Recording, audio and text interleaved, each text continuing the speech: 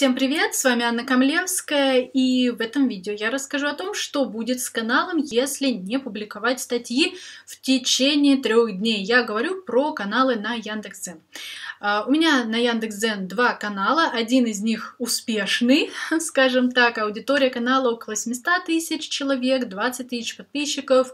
Канал называется Вокальный Дзен, ссылочку обязательно оставлю в описании к видео. И uh, этот канал приносит мне сейчас уже более 50 тысяч рублей на внутренней монетизации ежемесячно. Соответственно, у меня был период этим летом, эм, когда я не публиковала несколько дней ни одной статьи на канал. Что же произошло с моим доходом, с аудиторией и так далее? А, и сразу скажу, доход остался прежним. То есть, если мне приносил канал там около тысячи в день, также это и осталось. При этом я подумала, что будет как-то отсроченный какой-то эффект, да, там через 2-3 дня, через неделю, а, возможно, я увижу какие-то показатели сниженные, но нет, ничего не произошло. То есть, а, пул статей, которые уже есть на Дзене, они крутятся, Дзен их постоянно показывает, они приносят вот этот доход. Более того, мой второй канал, господи, как он он называется, лайфстайл-канал «Дневник деловой мамы». Хочу поменять название перед тем, как начну его снова активно вести.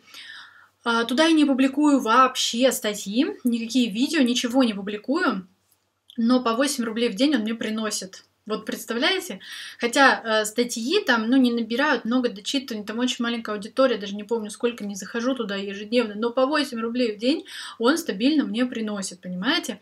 Э, то есть здесь суть заключается в том, что, в принципе, в какой-то степени канал э, на Яндекс.Дзене может э, стать для вас источником пассивного дохода.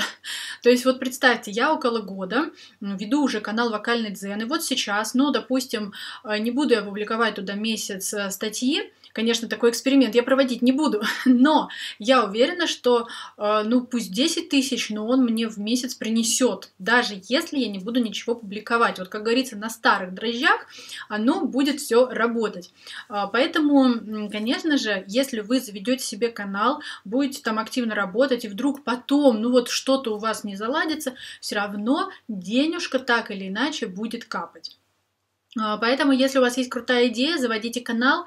И я уже снимала видео о том, стоит ли заводить канал в 2020 году на Яндекс.Дзен а, в конце 2020 года. Поэтому здесь оставлю вам подсказочку. Заходите, смотрите. Думаю, вам будет интересно и полезно. И всем желаю удачи. На связи была Анна Камлевская. Задавайте вопросы в комментариях. Не быстро, но я отвечаю. Пока-пока.